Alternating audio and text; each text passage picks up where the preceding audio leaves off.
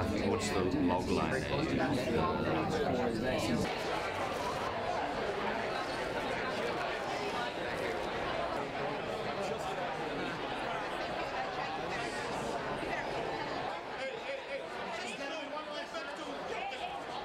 here.